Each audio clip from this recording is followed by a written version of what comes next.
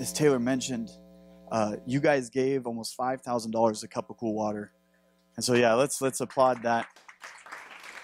That is phenomenal. Uh, for those of you who aren't here the last couple weeks, as we've been uh, pushing to to give to them, it's a ministry downtown that reaches out to teenagers and young adults and helps them get off the street and get educated, a place to shower, get fed, just find safety and solace uh, for a time and, and, get them back up on their feet and moving forward in their life to where they no longer have to be living on the streets in fear um, and just the, the depravity that comes with living on the streets. And it's an amazing ministry that Pastor Jason's been involved with for two years now, Jason?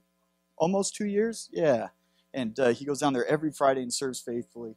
Um, and so we felt like we wanted to give our Christmas offering, and you guys did a great job for a smaller church. Five grand's nothing to sneeze at. And so God bless y'all for your generosity to help those who are in the trenches. Um, ah, just really fantastic. So far, um, I have survived this series. And that's about the most I can say for myself in honesty. this has been a hard season uh, for me personally, um, and this series has made me have to look at myself in ways that I have not wanted to, um, in ways that uh, have been painful and hard, and realize that there's a lot of a lot of growth in this rocky soil of a heart still that needs to happen. Um, surprise. I'm not perfect. And yet they give me a microphone every week, anyways. Far from it. We've been working, this is the last night in our series of Hidden Hope in the Hurting Heart. And we've been working out this verse in Matthew 13. I'll just read it to you real quick. This is Jesus talking about when the kingdom of God, the hope of the gospel, is preached to people. It's like a seed. And he says, As for the seed that was sown on rocky ground, this is the one who hears the word immediately and receives it with joy, yet has no root in himself, but endures for a little while. And when tribulation or persecution arises on account of the word, immediately he falls away. We've talked about how this, this idea that so often what happens is we'll hear the good news of the gospel, we'll hear what Jesus has, has come to deliver to us, which is life and life abundant. That when we repent of our sins, when we acknowledge that we are broken and in need, and that there is nothing in us that can come to God and say that here's what I have to offer you, but we actually come to God humbly and broken, that He receives us. When we ask for forgiveness, He forgives and He pours out His, his life on us and He covers all our sins. He redeems us from everything. He pays the price for the penalty of sin, which is death that all of us deserve. And we might hear this message and go, man, that is amazing good news. I've done some crap in my life. I need that. And we hear promises as, as we start to walk with this, this Jesus character, this Son of God, this God in the flesh, and we, and we hear promises about God's goodness for us. And then what, what Jesus is talking about here is that what happens is there's circumstances in our life, there's pressure on the word. There's pressure on the promises. There's pressure on the truth that's been spoken to our lives. And, and the word in the Greek that we've looked at is it actually it starts to get twisted and perverted in our heart. And so what, what this means is that we sometimes what happens when we have rocks, when we have these wounds, when we have these unmet expectations, we have these promises from God that seem to be delayed or they seem to have just died. Like, God, where were you in my greatest time of need? When you said you would provide, when you said you'd comfort, where were you when I was hurting most? Where were you when I needed you most? And our experience starts to change what we believe to be true about God and His Word. And eventually it twists and manipulates to a point that where when the pressure gets hard enough, it gets heavy enough, we just walk away from God. And we lose our hope, the hope of salvation, the hope of, of God living inside of us, that He actually cares, that He actually will do something with our broken little life, that He actually has the power and the love to overcome all that we've experienced and all that we've done. And the hope for anything good from Him starts to fade, and we start to lose our faith. In the first three weeks, we kind of talked about how we deal with persecution, with the pressures, with, with trials in our life, and that they, they kind of come from two main sources. Not that they're the only two sources, but they're two sources we clearly see in Scripture, and there's two things that we need to understand on. That's is that we, we still sin. I'm saved by grace. I didn't earn my salvation, but I'm still a man in process. And when I sin, there are consequences. When I don't do what God has intended me, created me to do, there are consequences in my life. And I can have these unmet expectations. I can have situations in my life, and other people might play a part. But really, what's happening is I've positioned myself not to receive from God in this season of my life. And, and, we have to repent. Whenever we repent, we talked about how God completely renews us, completely restores us and makes those hopes come alive in us again. But we have to come to this place of repenting before the Lord, to saying, Look, I had one way of thinking about life and how I was supposed to live and think, and you have a different way. And repentance, basic, at its basic understanding, we talked about its basic meaning rather, is that I'm going to turn from my point of view to your point of view, God. I'm going to look at things your way instead of looking at things my way, and I'm going to live your way instead of living my way. And then the following week after that, we talked about there's we live in a broken world. Turn on the news. Open any social media app you have. The amount of hate and brokenness that is spewed from person to person all over our world, in the macro sense to the individual relational sense, is just disheartening, at least. And sometimes, because we live in a broken world, because sin, this rebellion against God's word, came into creation when we sinned, when Adam and Eve sinned, because that came into creation, this world itself is broken. We experience death. We experience cancer. We experience all forms of loss and, and, struggle in life. And sometimes it has nothing to do with whether you have sinned and this is brought on. God is not punishing you for anything. But this is the this is the, the world we live in because of the broken state that it is at this point. And that even in those times, God's goodness and His grace, when we see these trials, that they're not always for us to get out of so quickly. But that God is using it because He is so good and He is so powerful that even some of our most hard hardships, our most hideous experiences can be used for good because we start to have a new perspective on other people's hurts, a new perspective on God's grace and His mercy. And we can actually minister and live in such a way that we now have opportunities that we never would have had unless we had the hardships and the struggles we had before. And that as much as we might want, and it's good to want it, to want out of these situations, that we should never miss the opportunity to use the struggles we're at now to be a blessing to someone else, to see what God wants to do in us to build character, and to help love and show someone else the goodness of God. And then we talked, in the third message, we talked about community. How's there's, there's the old saying that like God never gives you more than you can handle. That's not true because it's not in Scripture. God will give you plenty more than you can handle. He does it on purpose because He requires that we live by faith. That means not by our understanding or our strength, but that we fully trust ourselves into Him in every facet of our lives, which means He will routinely put us in situations that we have no capacity to handle emotionally, intellectually, physically, and we have to rely on Him to get through and to see the goodness of His promises in our life.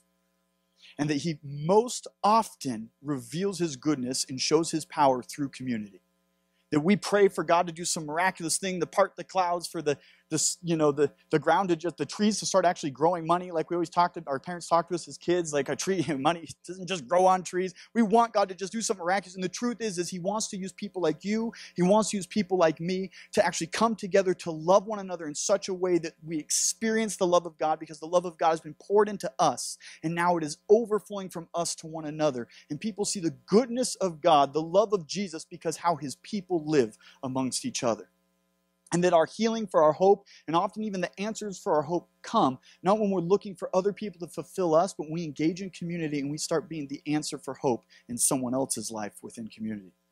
And god starts to move and he starts to grow. He starts to reveal gifts in us that we didn't know we had. And there's this beautiful process that takes place in community. And it's hard because we still get hurt by each other all the time. All the time because we're all still in process. And then last Sunday, we talked for our Christmas Eve message, we talked about Mary, the mother of Jesus, and, and the struggle it must have been to have the promises that God gave her for her son, for the hope of the world, and to watch for 33 years to see all these promises seem like they're going in the wrong direction up to that moment where her son Jesus dies on a cross and she sees him buried in a tomb and to think that was everything God said was a lie And that God calls us to faithfulness, to faithfulness, because sometimes the promises we think we're going to hold on to don't come the way we thought they were going to come. But what God promises every single one of us is more of His Holy Spirit. And we see that at Pentecost, that what everyone received because Jesus died and raised again is when you put your trust in Him as your Lord and Savior, you receive the Holy Spirit. God Himself comes to live inside of you, to be your, your guide, to be the source of your love and your strength, your comfort. He's the guarantee of your eternal life with Him. so this week, as we close this series, I wanted to look at hope redeemed in our life. Kind of what we talked about last week with Mary, but I wanted to go in a little bit deeper into that because the truth is, is we can hear something once, but the but we often we want what we want. We want it the way we want it. We want it when we want it and how we want it. And so you can go, yeah, yeah, yeah, that's all good. But if we don't understand that sometimes the hopes we have, the way we see God's promises, don't always come the way they think they do, we can still leave ourselves to be disappointed, have those unmet expectations that God never gave us, and we can actually have these rocks. This, this, this soil of our heart actually gets rocky, and there's no root for God's word to actually grow in our life, for His presence to come f- full and alive inside of us. And so I want to talk a little bit tonight um, about what it looks like for God when He actually redeems things in our life and, and hope comes back to life.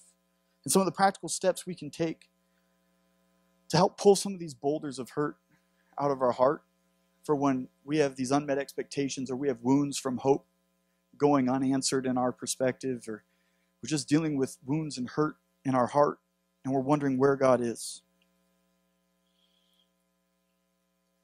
And then finally, I want us to take a look, and this is the hard part, is a, is a hard look at ourselves and our perspective of who we are and what we actually deserve. Because if our understanding of who we are and what we actually deserve isn't right, our hope will be misplaced over and over again, and we'll live a life of disappointment. The Word of God will continue to be a disappointment to us, and we'll be forced to either ignore it completely or twist it to fit our expectations and our experiences instead of understanding what God truly meant.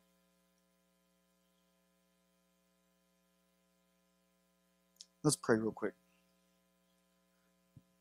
Lord, I, uh, I thank you so much. Lord, I'm going to thank you for this series, even though I'm not feeling it right now.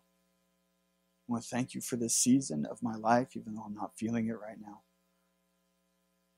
I know you're doing something, and, and I don't feel at all capable uh, to continue to endure in this way.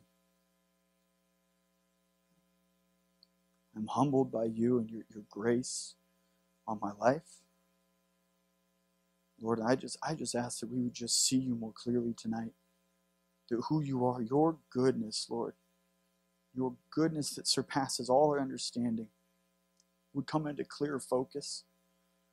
And that we would understand the need and the power of your grace in our life. Jesus, that we would not be led by our experiences, but be led by your truth and your spirit. And we just thank you and give you praise. Amen. I talked a bit about the depression I had about maybe almost two months ago that had come on for the first time in seven years, and I struggled with depression for the first time in a long time, and it was really just kind of leveling me.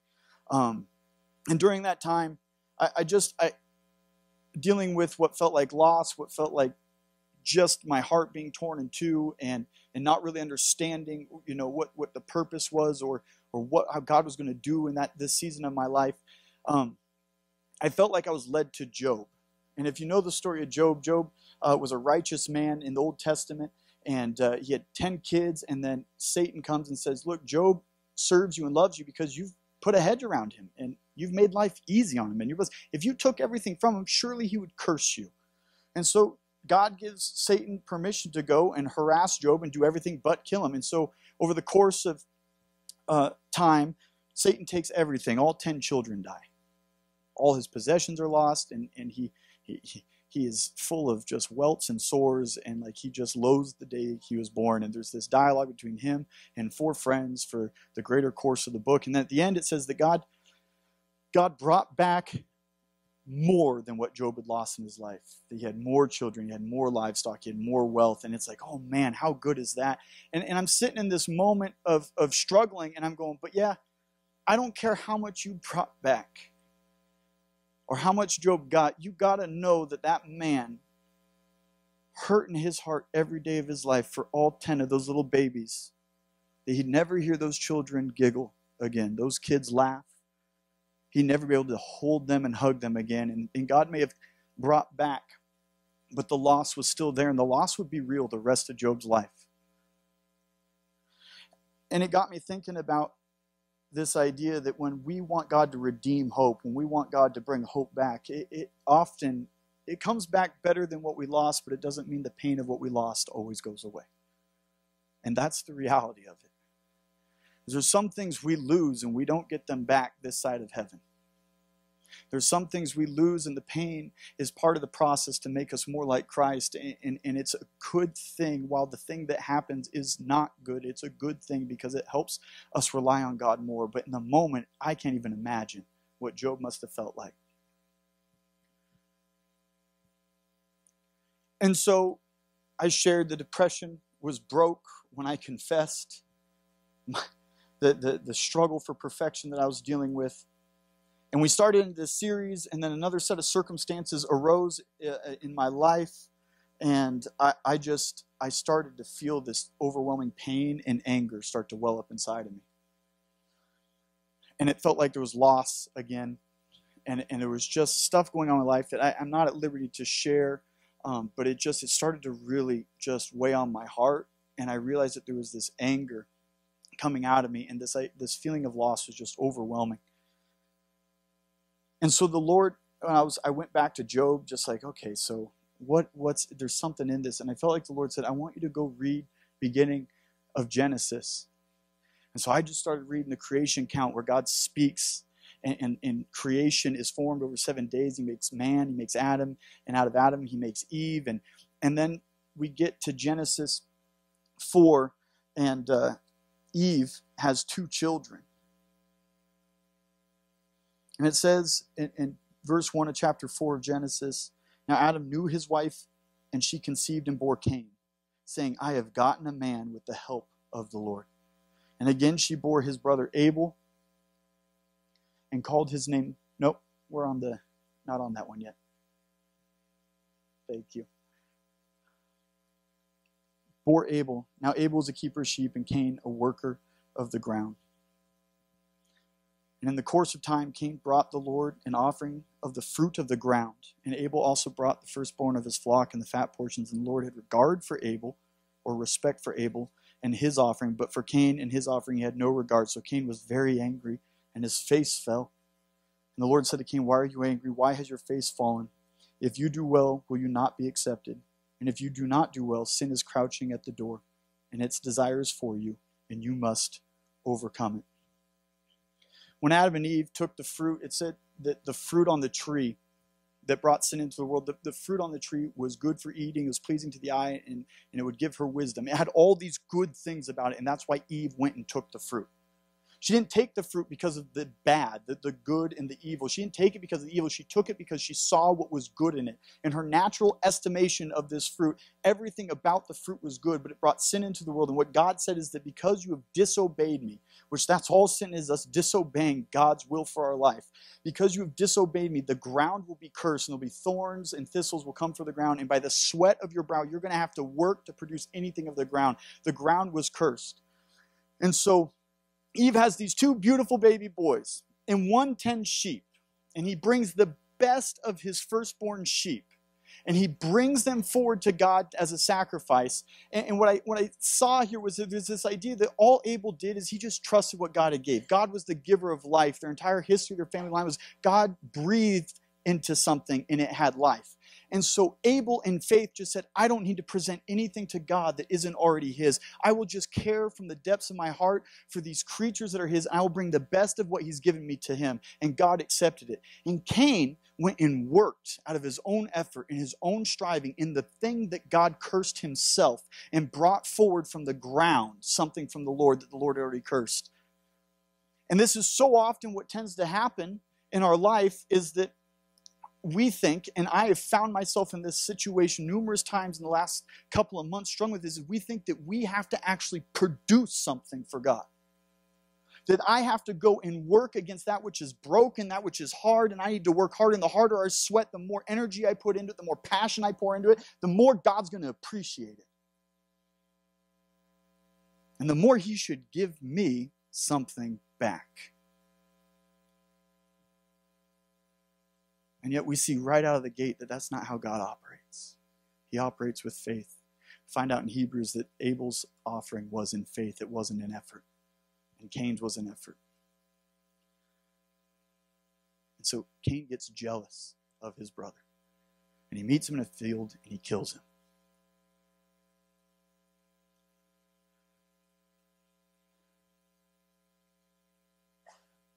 Eve lost both her boys that day.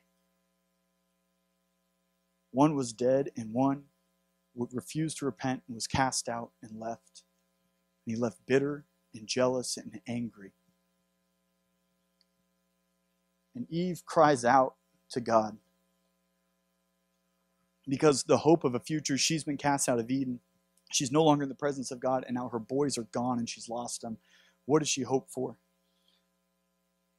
And Adam comes to her again, and we can pick up. Here's the verse that I wanted to work out of to start the evening. Chapter 4, verse 25. And Adam knew his wife again, and she bore a son and called his name Seth, for she said, God has appointed for me another offspring instead of Abel, for Cain killed him. To Seth also a son was born and called his name Enosh, and at that time people began to call upon the name of the Lord. Eve had lost her two boys. You see, in Old Testament times, and even in New Testament times, we read the Bible, often what happens is that people name their children with their purpose and their destiny in mind. Cain's name meant possession. God had given her a possession, a man to possess. God had given her this. The root of Cain's name, though, was to possess and a spear. And we see that right out of the gate with his story that what he wanted, he took by violent force. He possessed, out of jealousy, his brother by killing him. Abel's name meant breath. And the Lord just showed me here's this moment, this woman who her very breath has been taken by the very thing God had given her. Hope is destroyed in a moment for this woman and then her and her husband come together and they have a third child. And his name is Seth. And Seth means compensation. God has appointed. The word Seth in the Hebrew sounds like to appoint, and it literally means to compensate. God had set, He had appointed that He would compensate Eve for her loss. And this is so true of what He wants to do in our life is that the enemy has come to kill, steal, and destroy, is what Jesus says, but I have come to give you life and life to the full. The enemy comes and he takes and he destroys, and God has appointed it in his goodness and his mercy and his love that he wants to compensate everything that you've lost. Everything you've lost, God intends to compensate. Doesn't mean the pain of Abel is gone for Eve. But God had appointed a compensation for what was taken by violent force. And then something interesting happened as I continued to read, and we're going to get a little academic for a moment before we get back into the heart of the matter. Is that there's a series of names. We have Cain's lineage up until Noah and the flood, and we have Seth's lineage up until Noah and the flood. And there are multiple names that repeat themselves and names that are only off a letter or two. And there's something very interesting that I think the Lord has for us to see how He works in compensating us, not in a way we think, not in the time we think, but in a way that completely blows us away and, and changes everything for our perspective. And so Seth has Enosh, which means man. It means the same thing as Adam. God is giving a second chance that humanity has been lost, and God is setting up a second chance for him to do something, for man to do something. He is a second man. He is a restart, the beginning of God compensating what was lost in the garden, what was killed in that field. God is starting something new with Enosh, and his name means man, just like his grandfather Adam. And Enosh would have a boy named Canaan, who also means possession. But Canaan has a root word of to possess and a nest that Canaan was a man who would receive possession by resting in what God had created to protect him. The nest was always the source in, in Hebrew literature, the source of divine favor, comfort, and protection up high away from danger. It is where the eagle would stay and watch from his lofty perch as God did all he did below him. The nest was above the cursed ground that Cain had worked and tried to earn his favor from. And Canaan, a man with the exact same name, was going to have a different possession. His possession was going to come from rest, from God's favor, because God would lift him above the curse to set him on a place to where he could not be touched.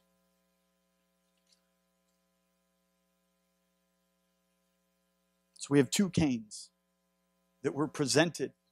We have two options for life that were presented today as, as we see as, as God's orchestrating the names of these people that would carry on for the lineage of all mankind. We have one Cain that we can either continue to try to work to please God, work for the hope and the promises of God by the sweat of our brow, take things by force, make them ours, the American way, or we can learn that whatever's taken from us, God promises to compensate and that we can just rest in his promises that He will compensate beyond our belief, beyond our understanding, what has been taken if we would just rest in Him.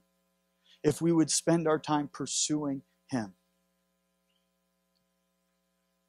From both these lines came men named Enoch,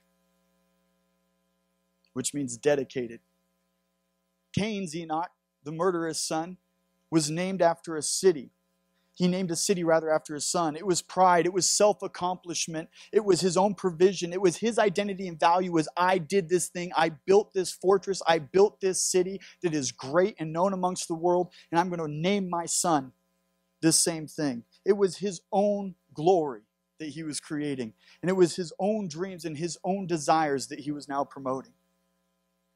And the other Enoch, meaning dedicated, was the one who walked with God. And if you know the story, he's, he's one of two men in the history of humanity that walked with God and never died because God just took him before his time, because he walked with God we see that there's these two, we can work in our effort, which leads us to one place in our life. If everything I do is about my effort and my work and taking things by force and controlling my circumstances, that everything I have is going to be about me and my identity and what I can value out of what I can make. And I'm building a legacy for me out of the sweat of my own hands, where I can trust that God will provide and I will walk and pursue Him in relationship and be a friend of God. And from these two Enochs, from Cain's Enoch came Methushael. Methushael is one who interjects for God, one who speaks on behalf of God without authority. This is what happens when we try to make life about our own efforts, when we try to make life something that we can control and we can possess by our own strength and our own understanding, is that we start to get to a place that where we dedicate our entire life to all our work and all our understanding and all our accomplishments and those experiences and that understanding leads us to a place where the only thing left for us to do is to make God's word fit our experiences. Because it's all about what I've done, and it's not about what God has done or what God has promised. It's all about what I can control and what I can create. And so we start to change the truth of God's word in our very heart to something that has to do with us. This is what Jesus talked about the unmet expectations. Cain's life, his jealousy led him not to see the promises of God that were spoken over him through his father and mother. And his entire lineage now is now starting to twist the very words of God, to speak for God in ways that God never intended man to speak for him. And from the other, Canaan, was Methushael, two letters different. And from Methushael, oh, I'm sorry, Methuselah, which is a dart against your enemy. So for the man who, who walked with God, who rested in God in his high place that he put him, God gives him a dart against the enemy. And I thought about this as a dart is a small thing. It is not like the weapon of choice. If you're going to war, not many people go, give me the blow dart. Like that's that's not what, you know, they all got machine guns and there's tanks over there. It's like, give me the blow dart. I want that small because I, I'm precise with that thing. And once I get the little frog poison on it, oh, he's over. It's gonna be glorious. Like in our in our understanding, if you're going to war, if you're going to attack your enemy, taking a dart to somebody is is not the most effective way to take them down. Unfortunate story. When I was in my drinking days,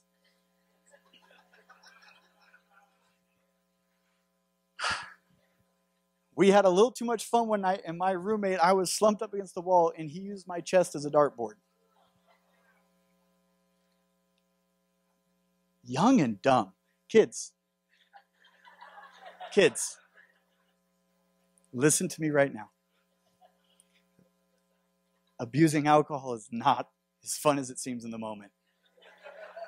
The choices you make, some of them can last a lifetime. You don't use a dart if you're going to war.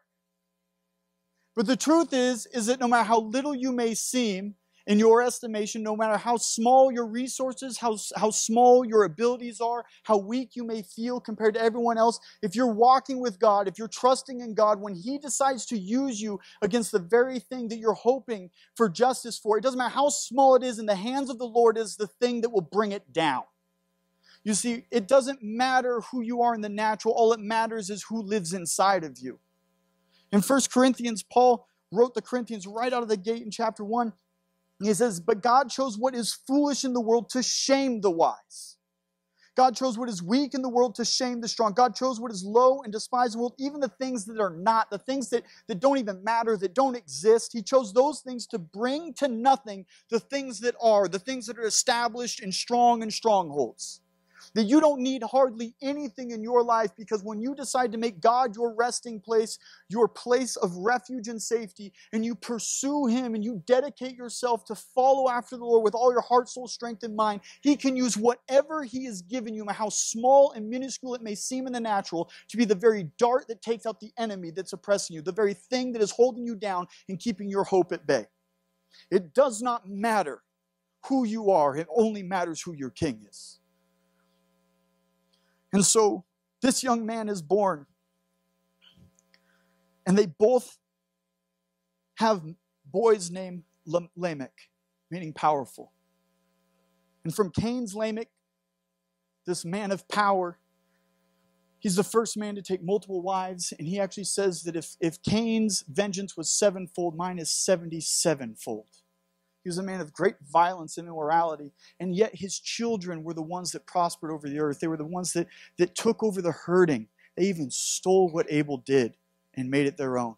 They were the ones that created music with the lyre and with the flute. They were the ones who created bronze and or, or, rather copper and iron weapons. And one of the daughters is the first woman to give an account for what she contributed in all the Bible besides Eve for her extravagant beauty. And it seems in this moment, this other Lamech, that he comes forward from, from this dart. He's this little dart, and his name means powerful, but there's nothing of power in him. And he kind of laments his very situation. And when he has his son named Noah, he says this Out of the ground that the Lord has cursed, this one shall bring us relief from our work and from the painful toil of our hands. Here's a man of power, and he's crying out, he has had enough. He can't stand the way the world is going anymore. There's been all this promise of what God will do to redeem his people that has been shared, and yet here's this man who's supposed to be powerful going like, I just, this boy's guy has to be it. Seth line up to this point has seen them, they're, they're, they've been murdered, they've been overlooked, and they've had nothing. In Cain's line, the murderer, God has actually protected him and said that no one will touch Cain. And his descendants are powerful and they're changing culture and they're sweeping over the land and they have all the influence, all the money, all the fame. But one of Lamech's, two of Lamech's firstborn children have interesting names Jabal and Jubal. Unfortunate for them never know who mom's really yelling at. One means a stream of water like a river. And the other means a stream, which in the Arabic actually translates to heavy rainfall. And the Lamech, who is poor and weak, has this young man named Noah, who means rest. In the midst of all this chaos, God is saying, just rest. Your hope is coming. You have nothing left, and it seems like everything is stacked against you, and that all the world is getting glory for getting eviler and more evil and more evil and going in all the wrong direction. People are prospering left and right, and you're doing the right thing, and it seems like it's actually going in the wrong direction. Just rest. Rest in the place on high that I've put you. Put your trust in me and just rest.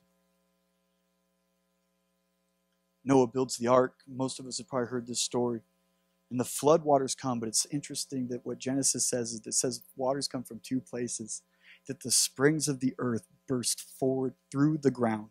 The blood that had been crying out for abel's justice released the water. The very pride of lamech his power came up against him and burst through the ground and flood and the firmament above the heavens fell for 40 days and 40 nights like a river. The very thing Seth's line had been waiting for came way, way later, but it would change everything. And God makes his first covenant with man. He makes it with Noah that he would never destroy the earth again, and that all of people on the earth would be blessed through the name of Noah.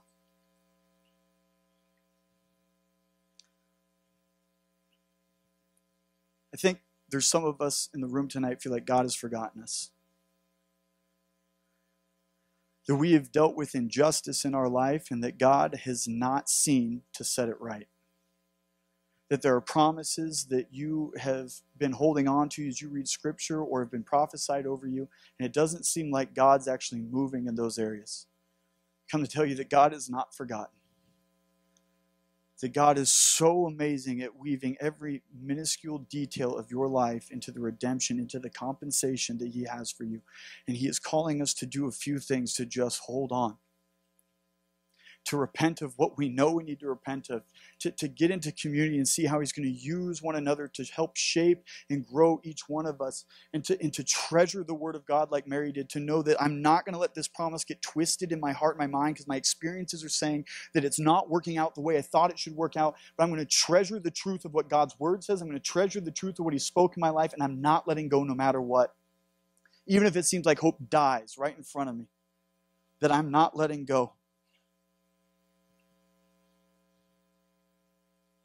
That we would find rest in the Lord above all else. That we would dedicate ourselves to Him, and He will, in His time, in His way, He will bring compensation for all that we have lost, for all that you have suffered. Jesus spoke to this in Matthew 19 when the rich young ruler comes and says, I, I, uh, I want to follow you. And Jesus says, Sell all your possessions, give it to the poor, and follow me. And and he goes, Whoa, that's too much. And he turns and he walks away and says that Jesus looked at him and loved him, but he let him walk away. And in Matthew, the account of Matthew of this story, Jesus turns and he says to them, And everyone who has left houses or brothers or sisters or father or mother or children or lands for my name's sake will receive a hundredfold and will inherit eternal life. But many who are first will be last, and the last will be first. And Mark, it says, many will receive a hundredfold in this life and the next. God promises, Jesus promises to compensate whatever you lose in pursuit of dedicating your life to Him.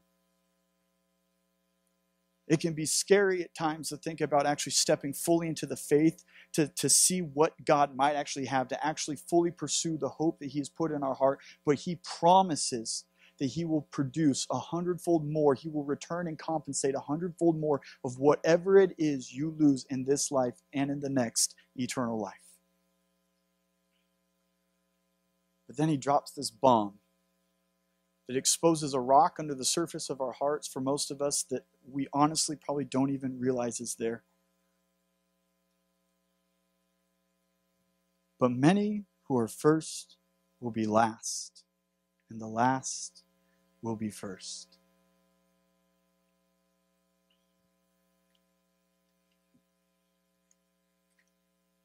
There lies under the surface for most of us in some context or another bitter jealousy due to what we see as injustice in our life that prevents the potential of our promises. It pushes our promises down the road. It paralyzes God's power in us for the opportunities that we currently have, even amidst our struggle. And it prevents God's presence from penetrating deep into our heart, into the soil, so his word can really take root. Cain killed his brother because he was jealous of him. Pastor Bill Johnson says that jealousy is just the seed, it's the conception of murder. And I was thinking about this is what happens is jealousy gets conceived in our heart. We get jealous because we see somebody else get something that we don't think they deserve. You know, like someone isn't working that hard at work and they get the promotion and you've been busting your butt and you're getting a pink slip. And you go, this isn't fair. And so we become to get jealous. And from jealousy, when jealousy gives birth, it comes out as an infant, it comes out as bitterness towards the individual. And bitterness towards God because He's not working on our understanding of fair weight and scales. And, and, and then from bitterness, when it grows into a teenager, bitterness grows into dishonor and, and derelict nature towards people and we start to speak and do things to undermine and we start to actually come after instead of just holding our heart we start to when it starts to get a little bit more mature we start to do things to undermine people because it's just not fair that this person hasn't had the struggles i've had. They haven't made the sacrifices i've made. They haven't paid the price that i've paid and yet they're getting all this stuff in their life. All this goodness is happening. God where are you? Where is justice? I have been pining away. I've been pursuing you. I've been staying resting in your presence. I've been waiting. I've been treasuring your word. I've been doing all these things and yet, this person who does nothing seems like they're just getting everything they ask for.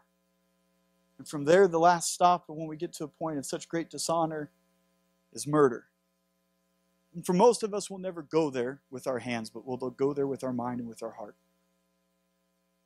And we'll stand as judge over someone that God is showing grace and mercy to. And the biggest thing I want to challenge us tonight is that this is the thing that stops the hope from becoming a reality in our life more than anything else. Is not understanding the grace of God. Jesus immediately addresses this. He says, The first will be last, and the last will be first. And immediately he goes into this parable. For the kingdom of heaven is like a master of a house who went out early in the morning to hire laborers in his vineyard. And after agreeing with the laborers for a denarius a day, he sent them into his vineyard. And he goes out at the third hour, the sixth hour, the ninth hour. Over the course of 12 hours, he goes out numerous times and he brings people in from the, from the streets into the middle of the town. And he brings them out to work. And then they all line up. And he pays those who have worked only an hour first, and he works all the way back to those who have worked 12 hours. And he pays the one who worked an hour first a denarius, a day's worth of work, a full day's wages. And everyone else in the back line that's worked three hours, six hours, nine hours, 12 hours is going like, yes, I agreed for one day's work and I worked a day. This is fair, but holy cow, I'm gonna, and then it gets to the next person, they get one denarius. And all the way to the last, and everyone gets one denarius. And those towards the end start to grumble against this man. And it says in verse 11 of chapter 20 of Matthew, and on receiving it, they grumbled at the master of the house, saying, the, the, These last worked only an hour, and you have made them equal to us who have borne the burden of the day in the scorching heat. But he replied to one of them, Friend, am I doing you some wrong? Did you not agree with me for a denarius? Take what belongs to you and go. I choose to give to this last worker as I gave to you. Am I not allowed to do what I choose with what belongs to me? Or do you begrudge my generosity? Another translation says, Do you think, do you, is your eye bad because I am good? Is how you judge evil because I am good? And so the last will be first, and the first will be last. In the season right now of feeling like, and it's pride. And it's it for me it's formed to bitterness. Where the jealousy is I feel like I have put forth certain efforts and time and sacrifices that others haven't, and I'm watching them get promoted around me. And I'm feeling tired and worn out and bitterness started to grow in my heart. And there's no way, as a leader of a church that, that professes that our main point and goal in, in a ministry sense is to unite with other churches, bring unity to the body of Christ. Can we have that ever happen if competition and jealousy and bitterness towards other people's success when God blesses them is at the heart of my judgment or any of our judgment? And the truth is, is, is in the natural, it makes sense. A guy worked 12 hours and a guy worked one hour. They should be paid differently. Sometimes God is fair, all the times God is gracious. Let me say that again. Sometimes God is fair and you get exactly what you work for, but all the time God is gracious. When we stand in judgment of other people that we don't think are up to the quality of what they should be for what they're given or what they're making or how they're being blessed or thought of, we put ourselves in the seat of God. Worse, we actually put God in the defendant's chair and we sit as judge. Saying that your grace, what this person hasn't earned, that you're pouring out, your mercy, what you're overlooking in their life and still blessing them, is not okay by me.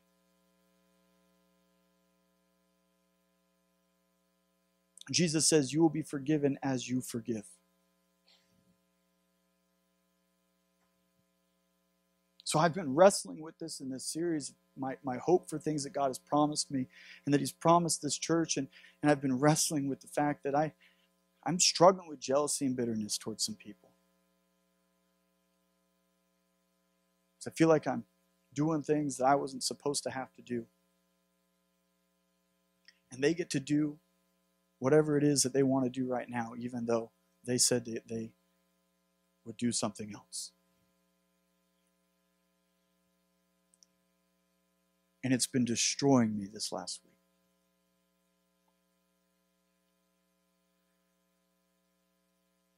And the only thing God said is, I want you to look at my grace for you. We can, we, we can add up how unfair it is. We can look in the natural and go, look, I've, I've put in 40 hours and I've given $100,000 or whatever it is you've done to ministry. And yet, God, all I've asked is that you just give me this gift of, of prophetic, and yet this person who comes in off the street, they're still strung out, they receive you, and they start prophesying right away. They didn't even ask for it. My child was dying in the hospital. When did you show up, God? And someone else hasn't done nothing. They showed up once the church got prayed for, and their dying child is completely healed, and mine's probably going to die in the next couple of days. And I've been pining away. I've fasted. I've prayed. I've done everything that your word says I need to do to show myself faithful. Where are you now?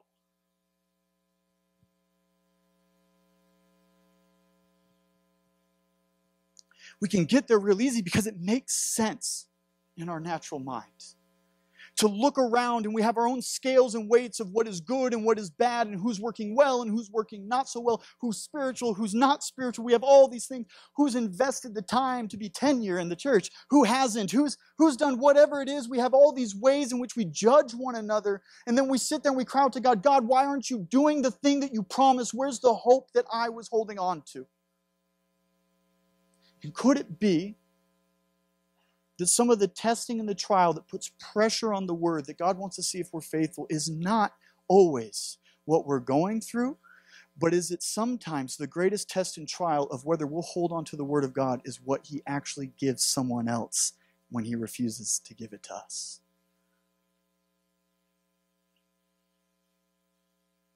What do we do when someone in our estimation less worthy gets what we've desperately wanted. What does our heart do? James James 3 13 through 16. Who is wise and understanding among you? By his good conduct, let him show his works in the meekness of wisdom. But you have bitter jealousy and selfish ambition in your hearts. Do not boast and be false to the truth. This is not the wisdom that comes down from above, but it is earthly, it is unspiritual, and it is demonic. For where jealousy and selfish ambition exist, there will be disorder in every vile practice. It's wisdom. You're seeing things fairly accurately. It's just earthly, unspiritual, and demonic. I had to come to grips with that the other day. I've been aligning my thoughts with demonic thoughts about what's fair and what's not, what's mine and what's not, what God gives, and sometimes what He doesn't. Why does God's mercy and goodness and favor in someone else's life make me jealous? Ask yourself that. What does that say about my heart? What does it say about our heart? And Jesus says, if you cannot, if you cannot steward natural things, how will you be given heavenly things? If I can't steward someone else's success with joy, how can I ever be entrusted with the joy of success that God's promised me? How can I ever be trusted to be humble and to use it well if I can't celebrate God's mercy and His grace on someone else's life? His overwhelming goodness to someone else. If I can't steward that with a thankful, happy heart and give praise to God, how am I ever going to be trustworthy to steward the goodness that God's promised for me in my life? My heart won't be able to bear it. I'll dedicate it to self glory like Cain did, and I'll work by my brow and I'll say, Look what I've done how great I am.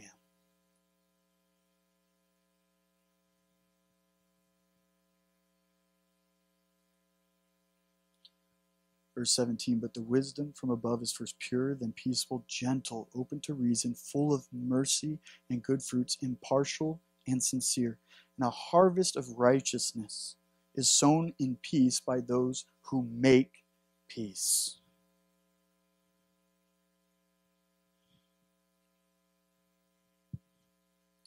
I was driving Friday, and I'm wrestling with these things, these people, these circumstances, and I, I want to close with this, and it's a confession because if we're going to be vulnerable, it has to start here first. Well, before I was driving, I was at home with my wife, and I hadn't spent a single moment preparing for tonight on Friday afternoon.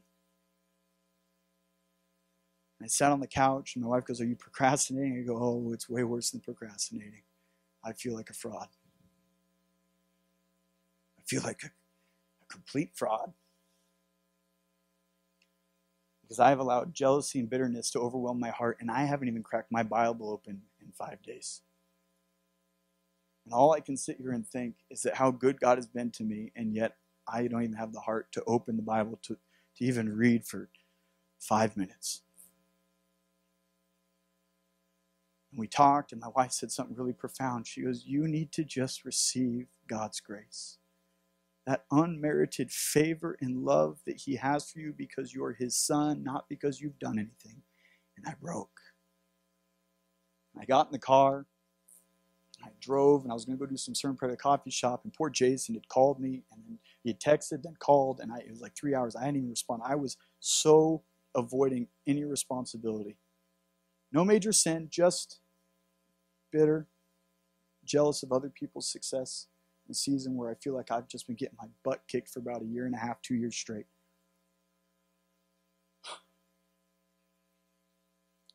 And I had to tell Jason the same thing.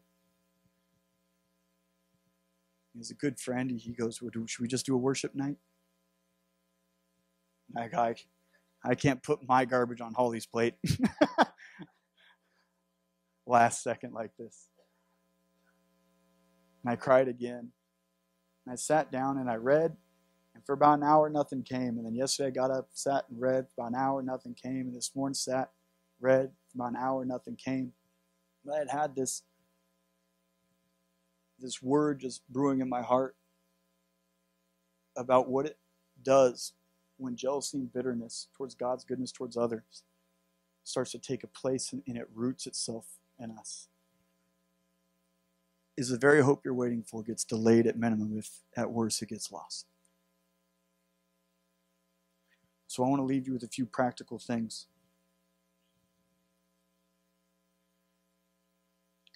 That we submit to God by resting in Him and dedicating ourselves to Him, even when it's hard and it's hard to see any good.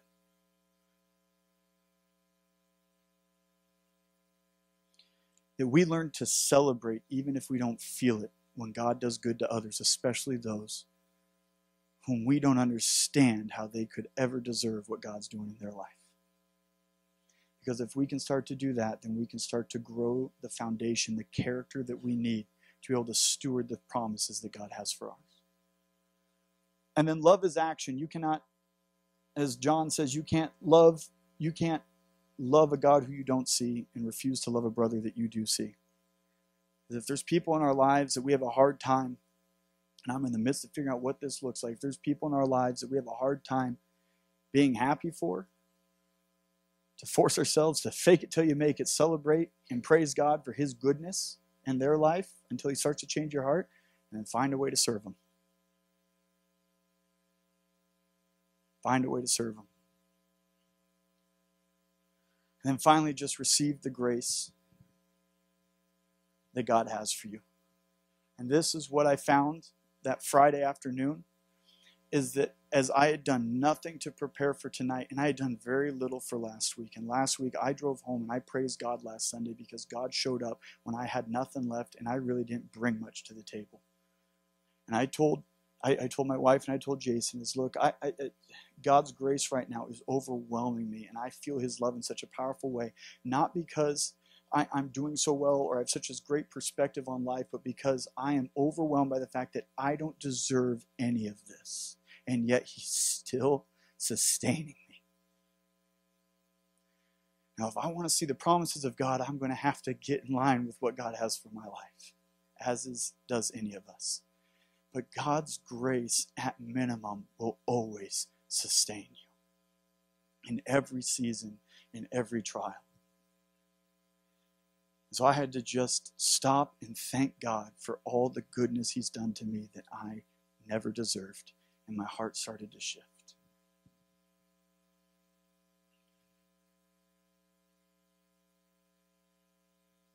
God wants to reveal amazing things in each one of our lives. The hope that He's put deep down inside of you, the passions that He stirs deep down inside each one of us. And He has things in His Word that we've that we've read, if you've been in the Word, that He's promised that may not seem like reality now.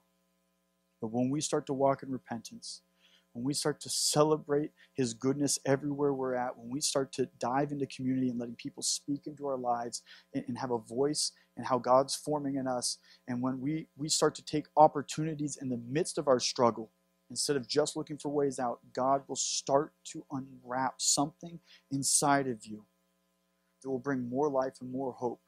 And will wash away all that was broken and restore the hope that He put in your heart at first and He will compensate you with much more than you ever deserve or ever could imagine. It doesn't mean the loss won't hurt, but the compensation will be worth it. Let's pray.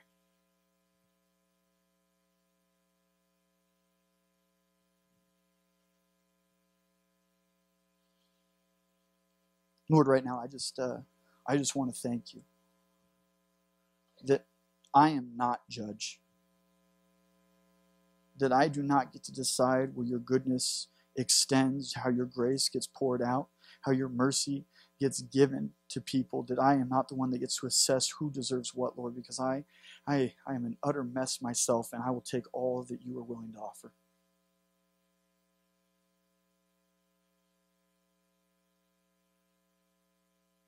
Lord, I, I, right now, if, if you are holding jealousy and bitterness in your heart towards individuals because you don't see them is worth the situation in life, or you just wish you think you deserve what they've got, I, I just invite you, everyone's heads are bowed, to just raise your hands. I want to pray with you because I'm struggling with it right now, too.